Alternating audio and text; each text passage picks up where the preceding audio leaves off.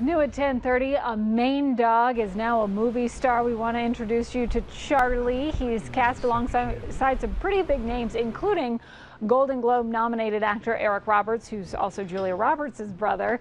The Chihuahua from Booth Bay Harbor plays Lester in the film Days of Power. What a cutie. The movie is a psychological thriller which is based on a true story about a singer-songwriter who's traveling with her band when things turn violent they end up getting kidnapped and come to find out that there there's a like a, a dog a puppy mill ring and um, there's, a, there's like an underlying message against animal cruelty but charlie's like missing throughout the movie. He's in he's in a lot of scenes the movie is scheduled for release in April of next year. When Charlie isn't acting, he's apparently modeling. And Donovan says the Chihuahua has brought in $4,000 so far in his modeling career. Pretty what good. a face.